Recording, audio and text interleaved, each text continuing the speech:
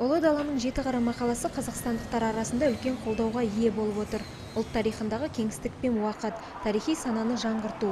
Мақала міне осы екі негізгі бөлімді қамтыған. Мақалада біздің тарихымыздың тереңдігі мен жан жақтылығы айтылады. Еуропа мен азия кеңістігіндегі біздің рөліміздің маңыздылығын түсінуіміз керек. Сол себепті де мақала бірнеше тілдерге аударылған.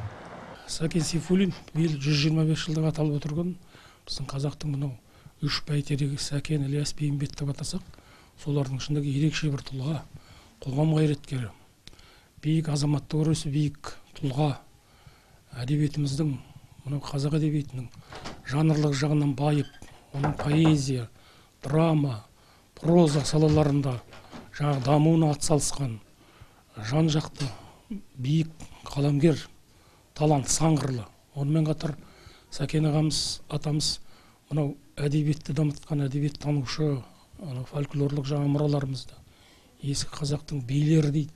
Сол билер дәуіріндегі әдебиетті мынау әдебиетімізге қосқан әдебиет тарихын байытқан мынау жан жақты ғалым.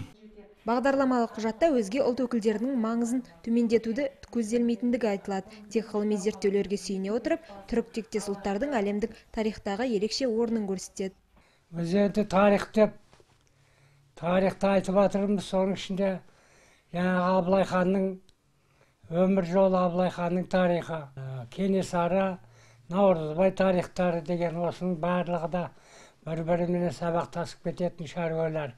Ал енді бұлардың бәрі де менің өз түсінігімде өз, өз деңгейінде емес. Әлі де зерттеу керек. Мақалада бірнеше жобалар ұсынылған. Сол міндеттемелер ұлтты біріктіріп барлық қазақстандықтарға бағдар беруде. Бұл тұңғыш президент елбасының көреген саясатының арқасы. Тұмар бабасанова жамал ғабдуллина дархан мұжыбаев көкше ақпарат.